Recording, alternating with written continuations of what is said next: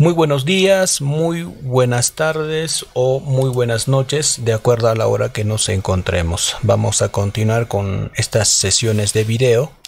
En esta sesión vamos a registrar las ventas y, y las compras en el sistema contable Contasys Corp. Vamos a comenzar con las ventas. Acá en el video hay una imagen que estamos compartiendo de nuestro PDF del registro de la factura de venta. Para ello voy a hacer de forma manual y luego vamos a hacer un video también de base de conocimiento. Es un es una opción que este sistema te permite para que se automatice el registro de la operación. Entonces, comenzamos con la eh, resolución.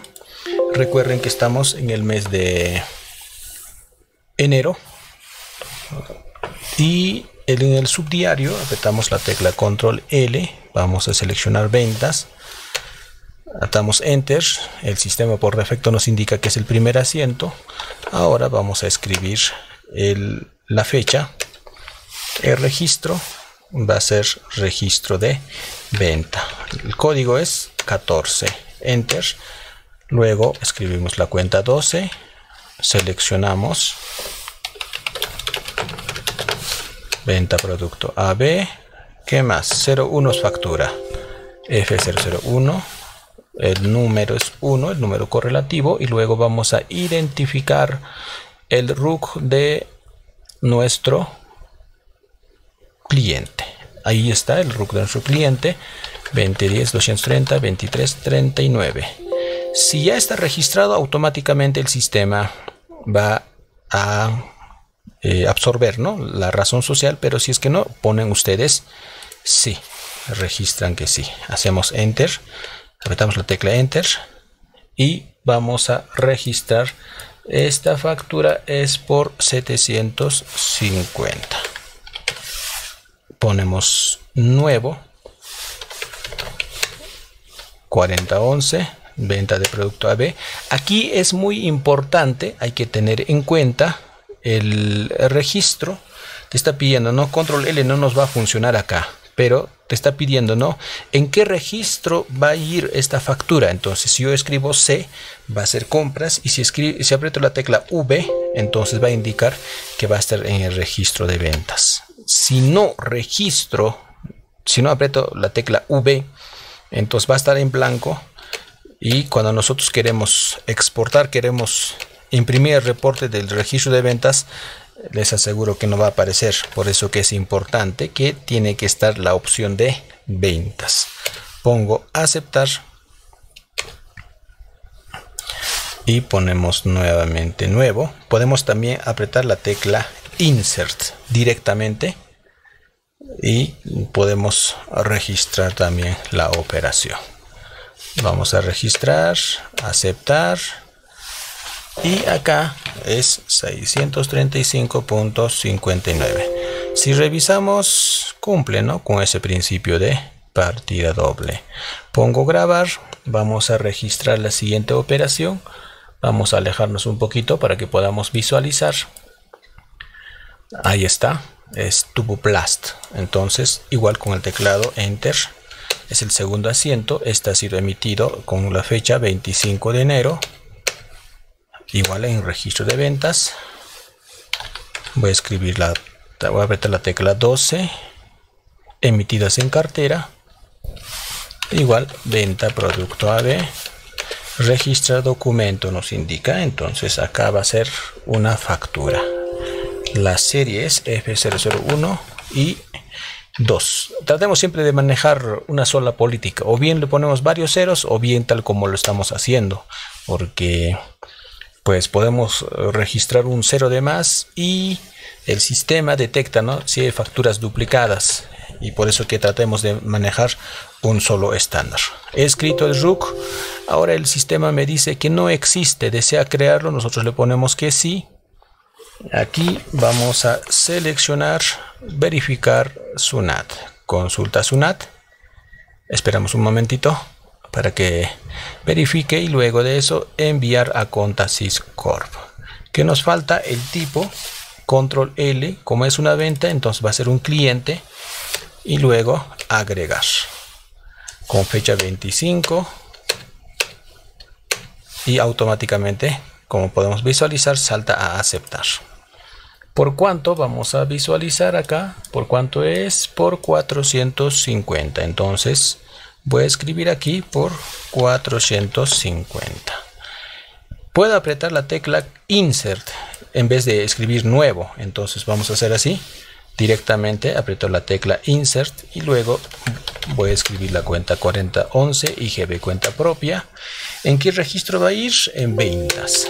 Enter. Y por acá vamos a registrar el total o bien la avance imponible también funciona aceptar. Y entonces ahí está el IGB nuevamente aprieto insertar y acá vamos a escribir el siguiente asiento que es la cuenta 70 enter ya está y es por 381.36 maestro Wilson de dónde obtengo esta información está acá, ¿no? 381.36. Estamos copiando entonces de esta factura de venta. Luego de eso, voy a alejarme a ver. Eh, ahí está. Eh, vamos a poner, vamos a seleccionar grabar. ¿Entendido? Vamos a seleccionar grabar. Ya está nuestro segundo asiento, nuestro segundo registro. Vamos con el siguiente. Ahora vamos a proceder a registrar una compra. Entonces, eh, aquí en el subdiario yo no voy a hacer ventas, aprieto control L y selecciono compras. Enter es el primer asiento. Mm, vamos a consultar con qué fecha es. De fecha 11 de enero 2021 indica. Entonces voy a escribir la fecha 11 de enero 2021. 11 de enero 2022, ¿no? 2022. En libro registro ya no va a ser ventas, esta va a ser compras, entonces selecciono el 8 registro de compras. Pongo nuevo y vamos a registrar. De preferencia, yo les recomiendo que comiencen siempre con la cuenta que hacemos, ¿no? La provisión para registrar el detalle, ¿no? Compra, producto, AB, registra documento, es una factura, es 01, serie FE 01-5685. Ahora nos pide el RUC. El RUC esta vez vamos a encontrar por aquí, ¿no? Este va a ser el RUC que nosotros debemos registrar en las compras. Escribo 206015 98052. El sistema indica que no existe RUC. Si desea crearlo, nosotros le ponemos sí. Consultar SUNAT. Entonces, como siguiente procedimiento, el sistema hace la consulta a la plataforma, a la base de datos de la administración tributaria. Aquí también nos da la información, ¿no? Eh, la razón social, a ver, la fecha de inscripción, a partir de cuándo está funcionando, la condición habido, ¿no? La dirección. ¿Y qué más tenemos? Algunos datos, ¿no? Guía de remisión, sistema de emisión electrónica, por ejemplo, a partir del 22 de febrero esta empresa ya está obligado a emitir un comprobante electrónico. ¿Qué pasaría si tengo alguna consulta y eh, indica ¿no? que está obligado a emitir comprobante electrónico, pero me da un comprobante físico, el antiguo, el clásico. Entonces, pues de acuerdo a la administración tributaria, indica que no nos va a servir ni para costo ni para gasto. Hay que tener eh, cuidado con respecto a, a estos comprobantes, ¿no? A las empresas que están obligadas en este 2022, pues gran parte de las empresas ya están obligados a emitir los comprobantes de pago electrónico. Vamos a bajar, aquí está, para que nos podamos guiar. Entonces, estamos viendo también el monitor de donde extraemos dicha información.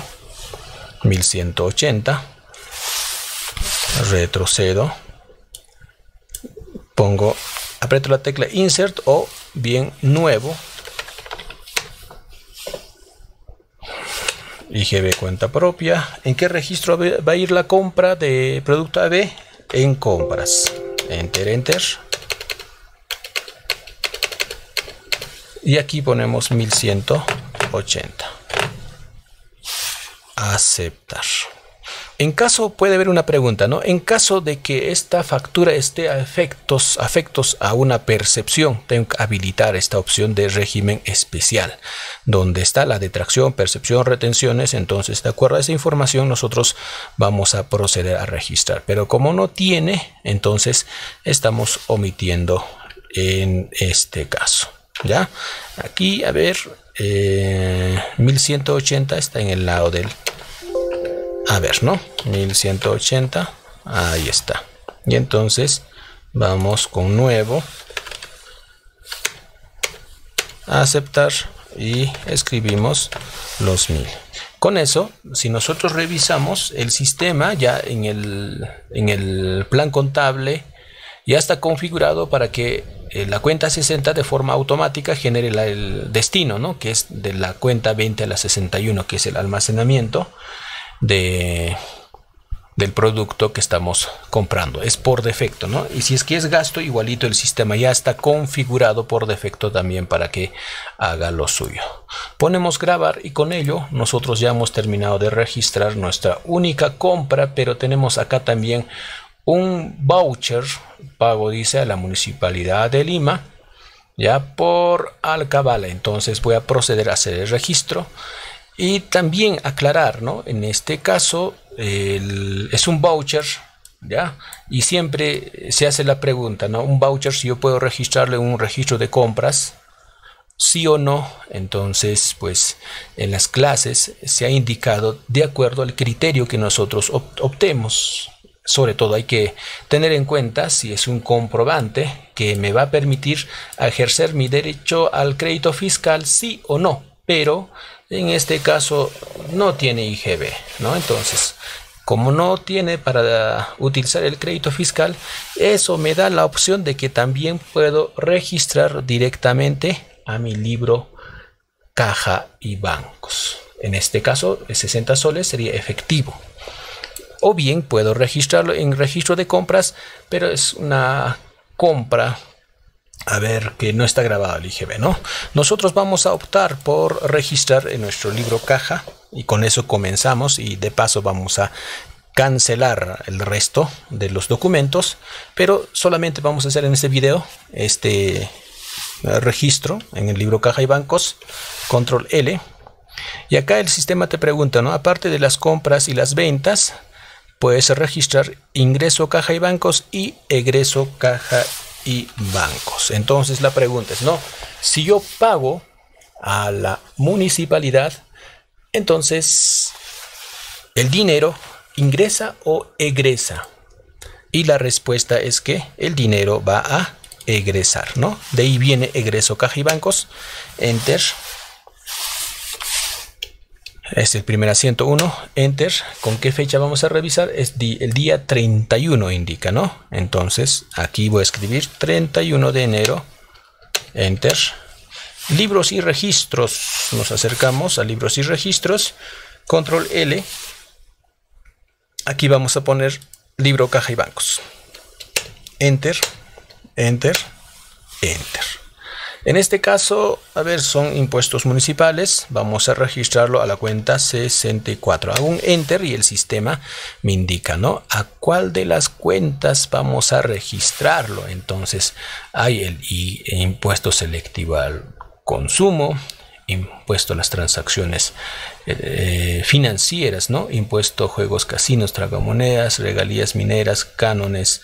Están ahí varios gastos. Gobierno regional, Gastos por tributo, gobierno nacional y gobiernos locales. A ver, arbitrios, impuesto predial, arbitrios municipales, etcétera, ¿no? Entonces, eh, licencias de funcionamiento, gobierno local, ya están ahí todas las opciones. Y también debemos recordar, eh, tiene esta particularidad este sistema contable que el gobierno local, en este caso, es analítico, ¿no? A nivel de 2, 4, a ver, 2, 4, 6, de 7 dígitos, te dice, ¿no? Hay gobierno local, centro de costos, administrativo, ventas, otros. En nuestro caso va a ser administrativo esto, ¿ya? Vamos a seleccionar administrativo y cuando dice administrativo, entonces por defecto le va a enviar a la 94. Pero si yo pongo ventas, por defecto su destino va a ser la cuenta 95. Estoy indicando en este caso que va a ser administrativo y que automáticamente eh, envíe su destino. ¿Ya? Mm, por el pago, ¿no? Por el pago. Alcabala. Enter, voy a alejarme para que podamos visualizar por completo. Creo que voy a tener que esconder el PDF para que puedan visualizar. Estamos ahí, ponemos Enter. Y por defecto, cuando hemos registrado nosotros a la cuenta 64, no 24 a la, a la cuenta 79 su destino. ¿Por cuánto va a ser? Por 60 soles nos falta, ¿no? Para que cumpla la partida doble, un asiento más, que es justamente la cuenta 10. Pero la pregunta es, ¿no? Si va a ser en efectivo, lo vamos a pagar o lo vamos a mm, transferir, ¿no? De nuestra cuenta corriente a la empresa. En caso de que hubiera, tendríamos que tener un voucher, ¿no? Pero ahora vamos a hacerlo en efectivo, ¿ya? Enter. Acá nos pide algunos datos adicionales, por ejemplo, el tipo de documento dice. Entonces, en algunas empresas manejan los recibos de ingresos y egresos.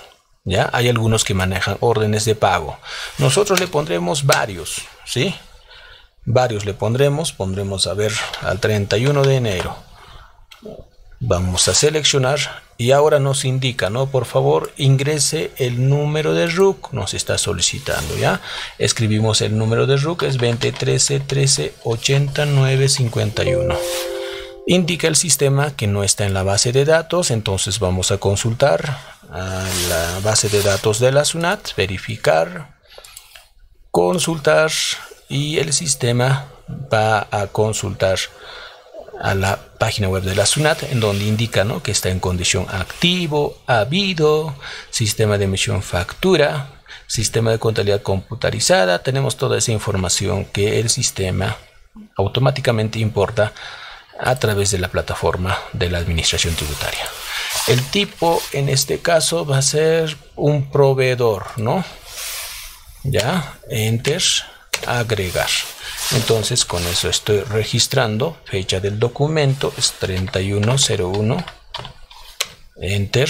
Flujo de efectivo. El flujo de efectivo nos va a indicar, ¿no?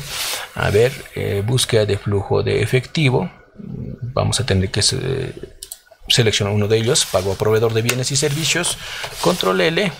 Y tipo de transferencia va a ser en efectivo, ¿no? Sin utilizar medios de pago ya a ver vamos a acercarlo esto por OVE ahí está no estamos seleccionando efectivos sin utilizar medios de pago.